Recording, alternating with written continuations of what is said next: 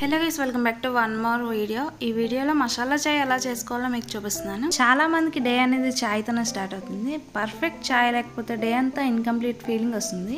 Perfect masala చాయ్ ఎలా చేసుకోవాలో చూసేద్దాం. ఒక గ్లాస్తో వాటర్ తీసుకొని బాగా మరగనివ్వాలి. వాటర్ బాగా మరిగిన తర్వాత ఒక స్పూన్ వరకు టీ పొడి వేసి గ్లాస్ వాటర్ అనేది ముప్పావు గ్లాస్ వాటర్ అయ్యే వరకు బాగా మరగనివ్వాలి. అలా మరుగుతున్నప్పుడే ఒక ఇంచ్ అల్లం రెండు యాలకులు చిన్న దాల్చిన చెక్క రెండు లవంగిలు వేసి ఒక రెండు నిమిషాల పాటు మరగనివ్వాలి.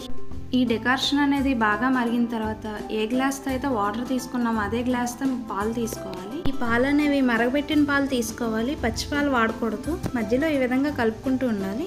పాలు వేసిన తర్వాత ఒక మూడు సార్లు పొంగిన తర్వాత స్టవ్ ఆఫ్ చేసుకోవాలి.